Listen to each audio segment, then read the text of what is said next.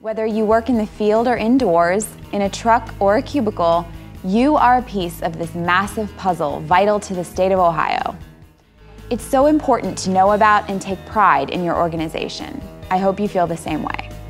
It's also important to be aware of how well your organization is performing, and to make that easier, leadership monitors ODOT's performance on a regular basis.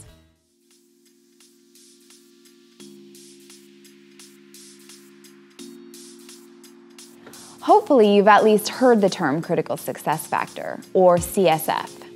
If you break it down word for word, you can probably figure out what the intent is critical or important, success or achievement, factor or a thing. So, a CSF is a thing that's important for ODOT to achieve. Something that's so important that if we aren't achieving it, or at least trying to, we're not doing our job.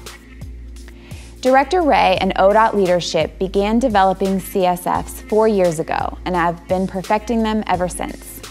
They've established four factors that are ODOT's main concerns people, system conditions, safety, and capital program. Within those four categories, there are specific things we can measure as indicators of how we're doing. Here's the point in the annual meeting when, with help from many of your fellow ODOTers, we tell you what those CSFs are and a little bit about the goals we're trying to meet, like if it's a percentage or number, or if we're aiming for a high or low result. Here we go. People refers to the people who work for ODOT, as well as the people of Ohio who do business with ODOT. The first people factor we measure is called the Work-Life Index. The results of the Quality of Work-Life Survey determine our score each year. The higher people rate their work life at ODOT, the higher the score ODOT gets. Please continue to participate in the survey each year so you can directly impact the Work-Life Index score. The Workforce Injuries and Crashes metric gauges just that. How often our employees are getting hurt or having accidents in their ODOT vehicles. The safety of our people is of the utmost importance. So the lower the numbers of both metrics, the better we're doing as an agency. The next metric ODOT monitors in the people category is the direct labor ratio. In a nutshell, this metric tracks the percentage of time ODOT employees are working on core business functions while on the clock. The more productive we are, the better, so we would like to see the percentage as high as possible every quarter. In addition to measuring our performance when it comes to our own employees, ODOT sets goals in regards to the business we do with outside companies. The disadvantaged business enterprises and EDGE metrics keep track of the percentage of project contracts we're given to DBEs as well as firms that are certified in encouraging diversity, growth, and equity. We also measure how much of our everyday purchasing of materials and supplies is going to minority business enterprises. It's important that we give everyone a fair chance at ODOT's business. So the more we can offer small companies, the better. In that sense, for our metrics, we strive for higher percentages. The next critical success factor is system conditions, which is just another way of referring to how well ODOT's roads are holding up. Within this category, you'll see performance measurements on our bridges and pavements, as well as how well we're maintaining the roads during both normal times and while experiencing snow and ice. Bridges are inspected regularly and receive ratings based on their overall physical conditions. The higher the rating, the better the bridge. So we want to see this number as high as possible each quarter.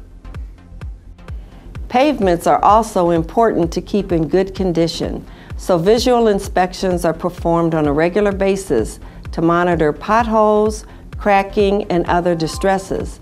From there, sections of pavement are given ratings. Much like the bridge metrics, the better the condition, the higher the rating we get. Routine road maintenance performed by our highway technicians is monitored as well, specifically the inspections of barriers, pavement conditions, traffic control devices, and also pavement markings. Our goal is to lower the number of deficiencies found and recorded in regards to this metric. The next measurement is known as the Travel Time Reliability Index, or TTRI.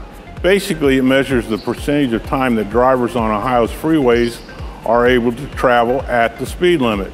Since we want traffic to move freely, we're looking for a higher percentage with this metric. During the winter months, we measure how well our maintenance crews are performing during snow and ice events. For the snow and ice control metric, ODOT measures exactly how many routes are not back up to normal speeds two hours after a storm ends. We obviously want all the routes back up and running normally, so the closer this metric is to zero, the better. We're done introducing both the people metrics and the system conditions metrics. On to the next CSF, which is a simple yet significant one, safety. As part of the safety CSF, ODOT measures just three numbers, the total fatalities, serious injuries, and crashes that occur on ODOT roads each year. Clearly, the least number of these incidents, the better we're performing on the engineering, construction, and maintenance of our roads. We're aiming for low numbers with these metrics. The final critical success factor for our department is the capital program, which simply refers to the money ODOT has and how we're using it for projects around Ohio. The contract program metric tracks the dollar amount of construction projects we've sold throughout the year will meet our goal if we sell as much as we originally planned at the beginning of the year.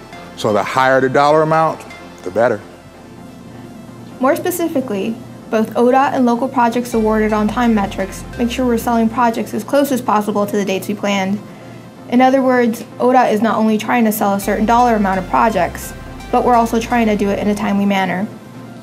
In regards to both state and local systems, the projects awarded on-time metrics track the projects that will be awarded to contractors within 30 days of the original goal. So we're looking for a high percentage each quarter. Lastly, the capital program CSF includes a metric called preventable change orders. Once a contract for a construction project is underway, any changes that have to be made will cost ODOT more money. We obviously do not want to spend more than we plan, so we track the total change order cost and compare it to the original contract amount, arriving at a percentage. The lower the percentage, the better. There you have it, each critical success factor and its metrics. Based on your specific job, some CSFs will apply to you more directly than others. Many of you probably also have goals and measurements more specific to your job that you track regularly but aren't found on the list of CSFs, and these goals are important too.